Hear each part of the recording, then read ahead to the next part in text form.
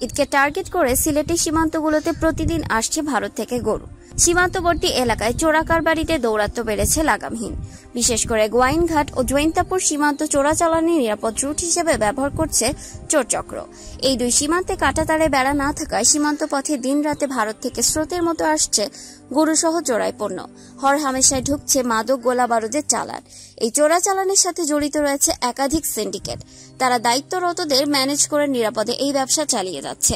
তবে আইন শৃঙ্খলা বাহিনী মাঝে মধ্যে লোক দেখা অভিযান চালিয়ে চোরাই গরু সহ মালামাল আটক করলেও ধরাছোঁয়ার বাইরে থেকে যায় মূলহতারা এইসব তথ্য জানিয়েছেন সীমান্ত এলাকার বাসিন্দারা।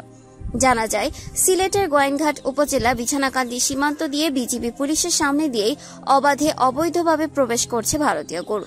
বাংলাদেশে নিয়ে আসা এক গরু ব্যবসায়ী জানান, ভারতের সীমান্তের কাছে পর্যন্ত প্রথমে ট্রাকে করে গরু নিয়ে আসা হয়। সেখান থেকে কখনো গরু হাত পা বেঁধে পাহাড় থেকে ছেড়ে দেওয়া হয়। আবার কখনো বিছানাকান্দি নদীতে কলা গাছের সাথে গরু বেঁধে ভাসিয়ে দেওয়া হয়। এরপর তা বাংলাদেশ থেকে গ্রহণ করা হয়। বাংলাদেশের সীমান্তে প্রবেশের পর গরুগুলোকে তারা নৌকায় তুলে প্রথমে হাদারপাড় বাজারে নিয়ে যান। সেখান থেকে ট্রাক কিংবা পিক ভ্যানে করে সিলেট সহ দেশের বিভিন্ন জেলায় বিক্রির জন্য নেওয়া হয়। তিনি আরও জানান, সবসময় এই সীমান্ত দিয়ে গরু প্রবেশ করে, সামনে কোরবানি ঈদ, তাই এখন থেকে অধিক পরিমাণে গরু আনা শুরু হয়েছে। প্রতিদিনই অবৈধভাবে কয়েক শত গরু প্রবেশ করছে সীমান্ত দিয়ে।